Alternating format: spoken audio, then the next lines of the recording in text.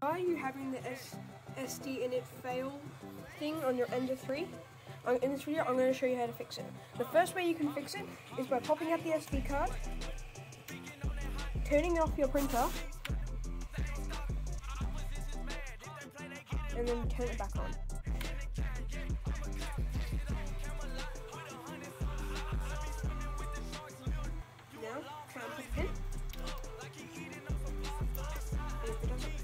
As you can see, it works for me.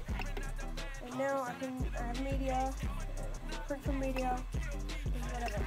If that doesn't work for you, I'll show you how you can fix it. So I recommend, the reason it didn't, sometimes it doesn't work is because you want to click on change media. And then you can remove card. Oh no, the. So now I'll show you how you can set it, do it, fix it on your computer. hard to say, I'm using one of the like um, converters for the SD card. It just came with the Ender 3. Um, yeah, let's get back to the video. Okay, so now that you're on your computer, you have your Ender 3 SD card plugged in. You're gonna right click on it if it's still not working. It. Right click and make sure you're only using the SD card. Make sure you're not doing this on your drive or else it'll erase your drive. Click on format and it'll come up with this. Then you want to click on, you want to make sure FAT32 default is selected and however many bytes it is. I'm using a 32 gigabyte SS MNSD card, so it's going to give me this many bytes, but however it is. Now you can change your name of your Ender 3.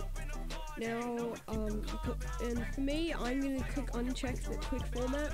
If you if it doesn't work with, with quick format on, then select un, un select quick format, and I'm going to click on start. Now you get this warning, and it'll say warning formatting will erase all data. Okay, blah blah blah. If you have any data on the on the SSD, I mean SD card, drag it off onto your desktop. I'm not actually going to do it because I've already done it. But uh, yeah, that's how you fix your SD card. And if it doesn't work, I'm sorry, I don't know how to help you.